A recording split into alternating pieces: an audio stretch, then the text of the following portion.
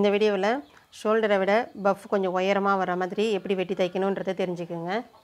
இது வரைக்கும் நம்ம சேனலை சப்ஸ்கிரைப் பண்ணாதவங்க இந்த இருக்கிற சப்ஸ்கிரைப் பட்டனை கிளிக் பண்ணி சப்ஸ்கிரைப் பண்ணிடுங்க. அப்படியே பக்கத்தில் உள்ள பெல் சேர்த்து கிளிக் பண்ணிடுங்க அதில் மேலே இருக்கிற ஆல் என்ற ஆப்ஷனை செலக்ட் பண்ணிடுங்க. அப்போ தான் நான் போடுற எல்லா வீடியோவும் உங்களுக்கு உடனுக்குடனே நோட்டிஃபிகேஷனில் வரும்.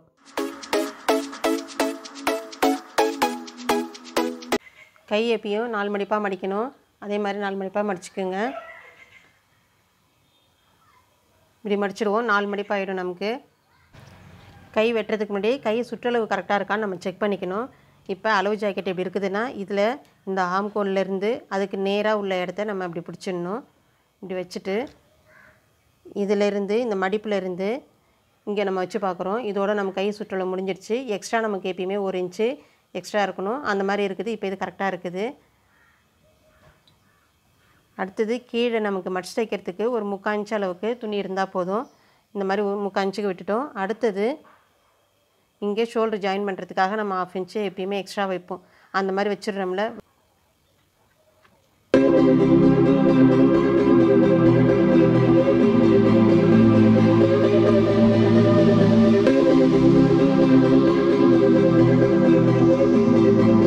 மூன்றரை இன்ச்சு எப்பயும் நம்ம வைக்கிற மாதிரி இந்த இடத்துல கை ஷேப்புக்கு இங்கே மார்க் பண்ணிக்கணும்.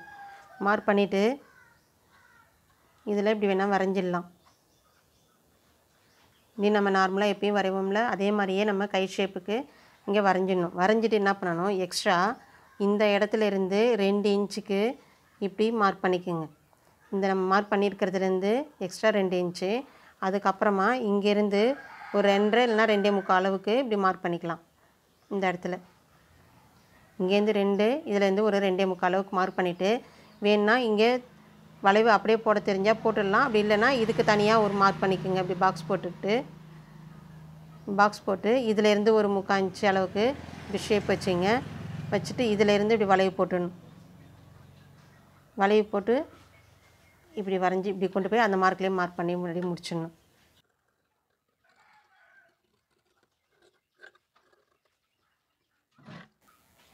இந்த மட் செய்கிறதுக்கு ஒரு அர்க்கட் பண்ணிக்கணும். ஷோல்டருக்கு நேராக வர்றதுக்காக ஒரு அர்க்கட் பண்ணிக்கணும். எக்ஸ்ட்ரா ஒரு இன்ச்சு வச்சுருக்குறோம். அதோட மார்க் பண்ணிக்கோங்க. அதே மாதிரி இந்த இடத்துல நம்ம ரெண்டரை இன்ச்சுக்காக இங்கே மார்க் பண்ணியிருந்தோம்ல அது வரைக்கும் மார்க் பண்ணிவிட்டு இப்போ இது ரெண்டுத்துக்கு சென்டரில் முக்கால் இன்ச்சு அளவுக்கு மார்க் பண்ணிக்கணும். கை ஆழம் எடுக்கிறதுக்காக.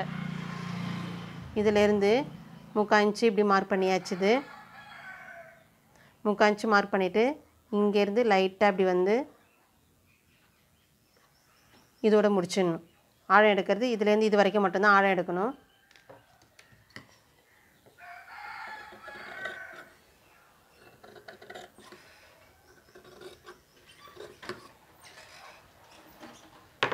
கீழே இந்த மாதிரி மடித்து தைக்கிறதுக்காக முக்கால் இன்ச் அளவுக்கு மடிச்சிடணும் ஃபஸ்ட்டு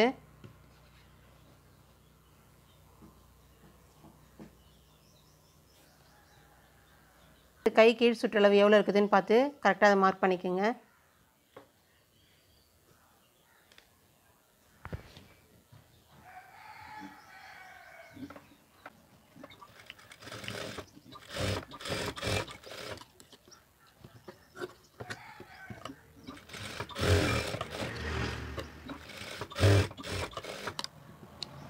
இப்போ ஆழம் எடுத்த சைடு இந்த பக்கத்தில் இருக்குது மேல் பக்கமாக அதே மாதிரி இந்த சைட்லேயும் இந்த ஆழம் எடுத்ததும் இதில் ஆழம் எடுத்ததும் ரெண்டும் இப்படி சேர்ந்து வரணும்.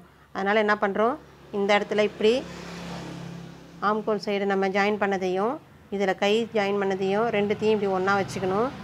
வச்சுட்டு அதுக்கப்புறமா இந்த ஷோல்டர் உள்ள துணியை இப்படி நவுத்திட்டு இந்த கையை இப்படி உள்ளே எடுத்துக்கணும். இப்படி பட்டையாக வச்சிடுறோம். எப்பயுமே தைக்கும்போது கை துணி தான் மேலே வரணும். இப்போ இது வந்து கை பாடி துணி இதோ இங்கே இருக்குது பாடி எப்பயுமே கீழ்ப்பக்கமாகவும் கை தைக்க வேண்டியது மேல் பக்கமாக தான் வச்சு தைக்க தைக்கணும் எப்பயுமே.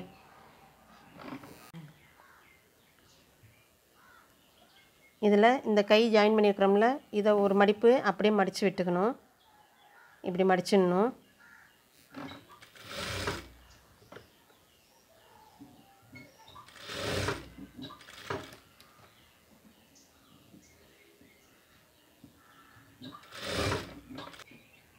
இந்த சுருக்கம் வைக்க ஆரம்பிக்கிறது.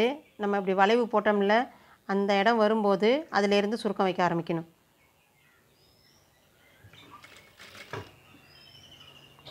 சின்ன சின்னதாக வைக்கணும் சுருக்கம்.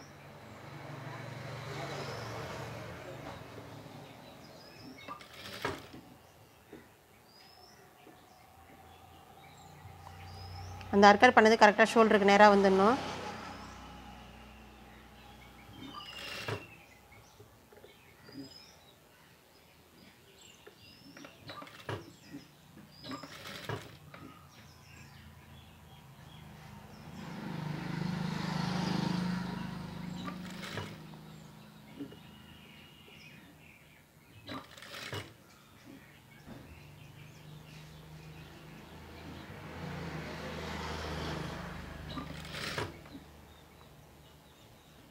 அதோட சுருக்கம் வச்சு முடிச்சுட்டு அதுக்கப்புறம் இந்த பாடியில் உள்ளதும் இந்த கையும் இந்த கையும் கரெக்டாக இருக்கான்னு பார்த்துக்கணும்.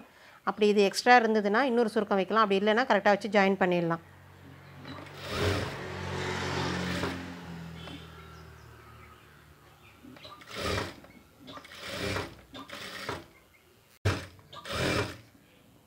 இப்போ பாடியில் உள்ள துணியும் அதே மாதிரி கிராஸாக இப்படி மடித்து விட்டுடணும்.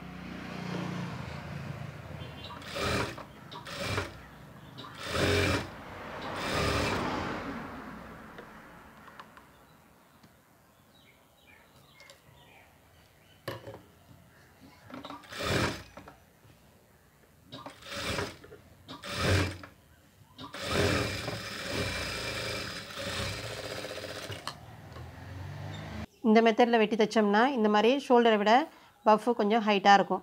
போட்டு பார்த்தோம்னா அழகாக இருக்கும். எப்பயுமே இந்த மெத்தடில் உள்ள ஜாக்கெட்டை நீங்கள் கை அளவு வச்சு தைக்கணும் அப்படின்னும் போது என்ன பண்ணணும்? இந்த இடத்துல நம்ம எக்ஸ்ட்ரா ரெண்டு இன்ச்சு வச்சுருக்குறோம். அதனால் அந்த ரெண்டு இன்ச்சு அளவுக்கு இப்படி விட்டுட்டு அதுக்கப்புறமா அளவு வச்சு மார்க் பண்ணி செய்யணும். இதே மாடல் கை நமக்கு த்ரீ பை ஃபோர்த்துலேயும் வேணும்னாலும் அதிலையும் வச்சு நம்ம இதே மெத்தடில் செஞ்சுக்கலாம். இந்த வீடியோ பிடிச்சனா லைக் பண்ணுங்கள் இதில் என்ன டவுட் இருந்ததுன்னா கமெண்ட்டில் சொல்லுங்கள்